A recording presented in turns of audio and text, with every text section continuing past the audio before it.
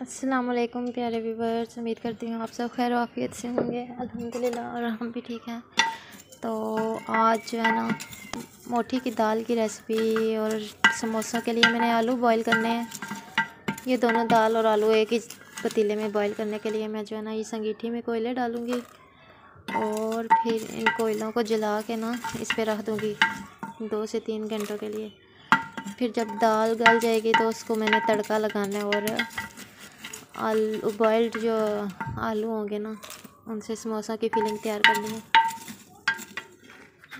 ये देखें जी, सारे कोयले डाल लिए अब हम आग जलाएँगे। ये जो है शापर, मट्टी का तेल वगैरह भी इस्तेमाल कर सकते हैं। उससे को आग जला लेंगे ना, ये आग कोयलों पे पड़ेगी तो कोयले फिर जलना शुरू हो जाएँगे।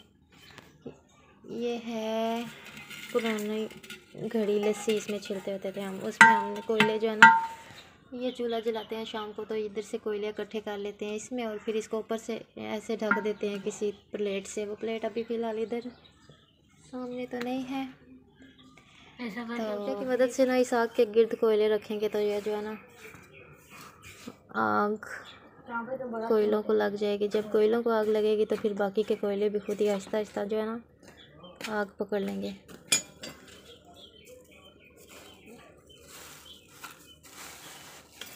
ऐसे गिर आग के गिर्द रख देते हैं। कोयले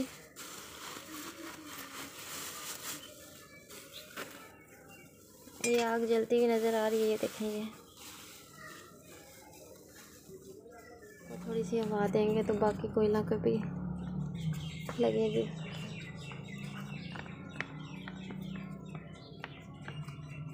इधर छाँव में ये कोयला जले हुए देख रहे हैं सुर्ख सुर्ख फूक लगाने से पता चल गया।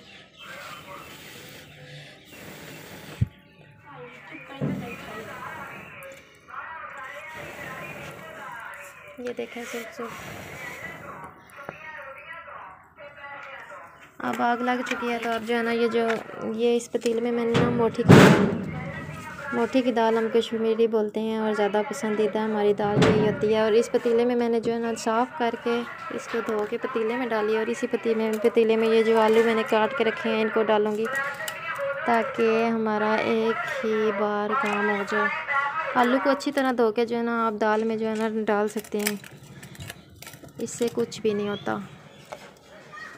फिर आपको जब आलू बॉयल हो जाए तो उन आलू को निकाल लें और दाल को अलग से जो है ना पका लें। तो पानी इसमें थोड़ा सा कम है, मैं पानी और डालूँगी और इसको ढक्कन से ढक दूँगी। वाइट वाइट जो है ना, इसकी राख बनना शुरू होगी इससे ये पता चल रहा है कि ये जल गए हैं और धुआँ भी निकल रहा है। तो अभी मैं इसमें डालती हूँ पानी। इस पतीली को फुल कर दूँगी और इसको ऊपर से ढक्कन दे दूँगी। ऐसे करके दे देते हैं। ऐसे ढक्कन दे दिया। तो दाल और आलू जो इकट्ठे डालने का मेरा मकसद ये था कि एक ही तीर से दो शिकार हो जाए। मतलब ये है कि आलू को भी मैंने गलाना ही था। तो गैस की भी बचत हो जाएगी, नहीं तो मुझे सिलेंडर पे चढ़ाने पड़ते। हमारे यहाँ गैस नहीं होती। और ऐसे हमारा टाइम भी ज़ाया नहीं होगा। पहले आलू गलाएँ और फिर हम जो है ना दाल को गलाएँ। तो इसलिए जो है ना, इकट्ठे डालने से कोई नुकसान नहीं, बल्कि हमारा कई तरीक़ों से फ़ायदा ही होता है।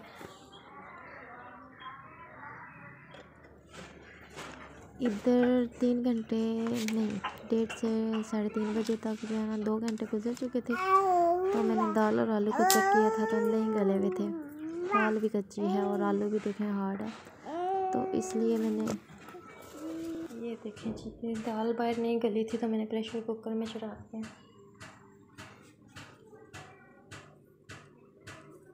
तो इधर ये देखिए, मैंने पकौड़ों के लिए जो है ना सामान रेडी किया है।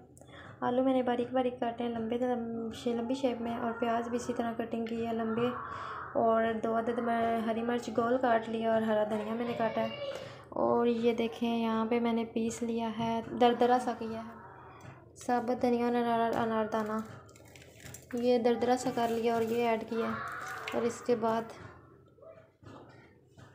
ये देखें हाफ़ टी स्पून जो है ना मैंने इसमें साल्ट ऐड किया है और हाफ़ ही मैंने जो है ना इसमें सुरख मिर्च ऐड किया बेसन जो है ना मुझे थोड़ा पसंद आता है पकौड़ों में तो आप अपने हिसाब से डाल सकते हैं। अगर आपको ज़्यादा पसंद हो तो आप नमक मिर्च भी थोड़ा ज़्यादा डालिएगा। कम बेसन में कम नमक मिर्च डलता है। तो बस मैं इसमें दो चम, बड़े चम्मच ये देखें। दो बड़े चम्मच बेसन ऐड किया मैं। अब इसको मिक्स कर लूँगी और थोड़ी देर जो है ना पड़े रहने दूँगी और मैं हाथों से ही मिक्स करूँगी। ये हाफ़ टी स्पून ही मैंने इसमें गरम मसाला ऐड किया है। तो गरम मसाला भी हाफ़ टी स्पून ले लिया और अब इसको सबको मिक्स कर लेंगे और अगर तो साथ ही आपने फ्राई करना हो तो आप बेशक थोड़ा सा पानी ऐड कर लें और अगर आधा घंटा या एक घंटा आप रखेंगे तो पानी इसमें ऐड ना करें। आलू और प्याज खुद अपना पानी छोड़ देते हैं। पकौड़ों का सामान जो है ना, ये मैंने तैयार किया। उसके बाद जो है, ये दो, एक कलेजी रखी थी। बिरयानी अम्मी बना रही हैं आज हमारे यहाँ। अम्मी की सासू माँ की जो है ना, वो बरसी है तो इसलिए उनके लिए हम दुआ कहलानी है। तो ये देखें, ये दो तीन, एक कलेजी और एक बोटी मैंने सिर्फ़ श्यामी रख के लिए फ्राई कर दी है। मैंने कहा, चले, फ्राई तो मैं वैसे ही कर रही हूँ। तो थोड़ी सी सुरख मिर्च डालेंगे। थोड़ा सा ही नमक डालेंगे। और इसमें गरम मसाला भी ऐड कर लूँगी मैं। दो पिंच गरम मसाला ऐड करूँगी और इसी तरह दो पिंच जो है ना मैं इसमें सूखा धनिया ऐड करूँगी पिसा हुआ। ये देखें गरम मसाला और ये सूखा धनिया है। अगर आपके पास सॉसेस मौजूद हों, चिली सॉस, सोया सॉस और विनेगर वगैरह तो आप वो भी ऐड कर सकते हैं। इससे ज़्यादा जो है ना, स्पाइसी बनता है। तो मेरे बच्चे स्पाइसी पसंद नहीं करते और वैसे भी मेरे पास मौजूद नहीं है सॉसेस। किसी भी किस्म के लूँगी मैं तो विनेगर अगर डालें तो खट्टा खट्टा जो है ना, टेस्टी लगता है। तो ये जो है ना, ये मैंने रेडी कर दिया है। ये वैसे एडिशनल था बच्चों के लिए। दो ही बच्चे हैं तो दोनों के लिए। तो फ्रूट चाट के लिए जो है ना, ये देखें, ये मैंने स्ट्रॉबेरी कट की है और ये है बनाना और एप्पल तो मुझे किशमिश पसंद है फ्रूट चाट में और मुझे जो है ना कैरेट का जो है ना मुरबा वो भी पसंद है, गाजर का. तो किशमिश भी मैंने डाली है और इसके अलावा हम खजूरें भी डालते होते हैं, फिर कभी फ्रूट चाट बनाऊँगी तो मैं खजूरें भी कट करूँगी. इसलिए मुझे आज स्ट्रॉबेरी मिल गई थी रेड कलर में तो मैं स्ट्रॉबेरी डाल दिया तो आपको जो भी फ्रूट पसंद हो आप वो ऐड कर सकते हैं। तो इसमें आप जो है ना मैं ऐड करूँगी दूध की मलाई।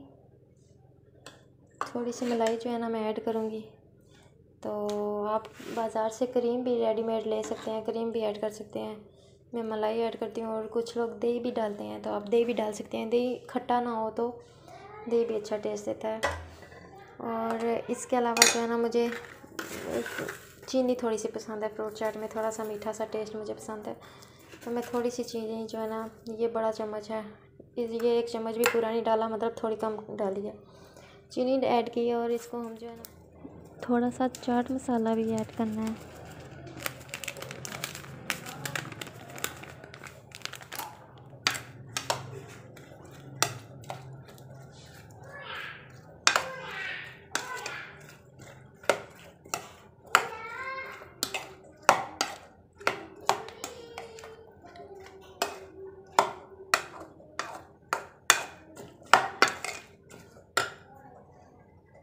फ्रूट चाट हो गई है रेडी और अब हम इसको फ्रीज कर। फ्रीजर में रख फ्रूट चाट के अलावा जो है ना मैंने खरबूजा और खजूरें रखी हैं धो के। ये भी फ्रीज़र में रख देती हूँ। तीन प्याली चीनी ली है। ये तीन चम प्याली जो है ना इसमें मैंने चीनी डाली और तीन प्याली पानी डाला और अब इसको जो बॉटल में डाल के रख दूँगी।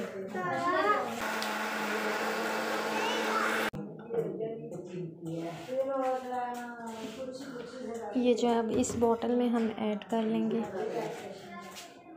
मुझे पकड़ना पड़ेगा दूसरे हाथ से, इसलिए मुझे कैमरा ऑफ़ देखिए साथ साथ जो है ना शेफ़ भी मैंने क्लीन रखी है, ताकि ज़्यादा गंदा पड़े। सामान जो है ना, इकट्ठा रखा है लाइन में। ये जूस रख दिया लेमन जूस भी बनाऊँगी और टैंक भी बनाऊँगी मैं।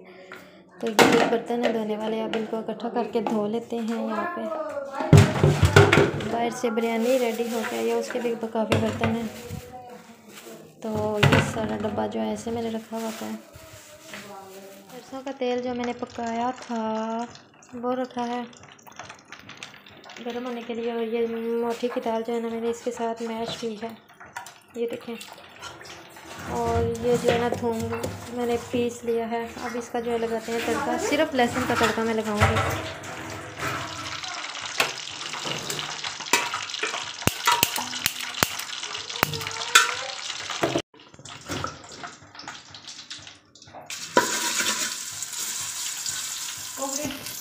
दो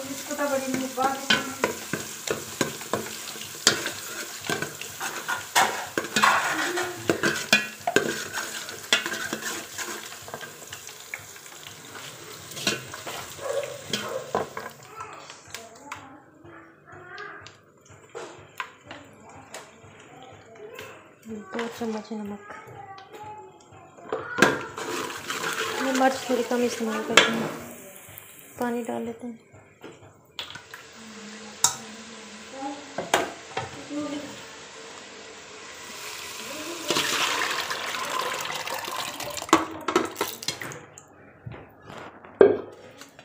तेल हो गया है गर्म और ये देखिए पानी छोड़ा हुआ ये पानी। इसको एक बार मिक्स करके तो फिर इसको डाल देते हैं।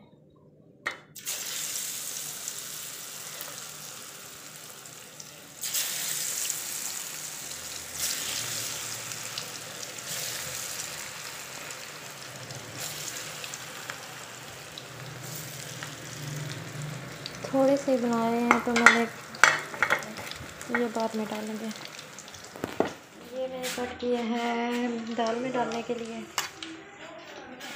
अब जो लीमू जूस बनाऊँगी इस गिलास में, क्योंकि हमारे घर दो तीन बंदे हैं अम्मी जो है लीमू जूस पियेंगे और बैठेंगे तो ये पहले मैंने निकाले हैं पकौड़े और दूसरे जो थोड़े से रहते थे वो भी डाल दिए और साथ में ये कलेजी भी डाल दी हाँ। जी तो इसको करते हैं ऑफ़ और ये बाकी से भी निकाल लेते हैं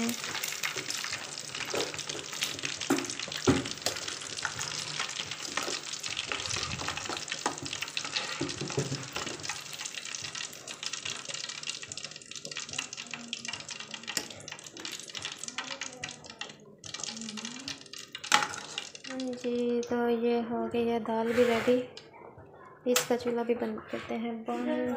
और ये हरा धनिया और हरी मिर्चें डालते हैं। ये डालते हैं सूखा धनिया और गरम मसाला।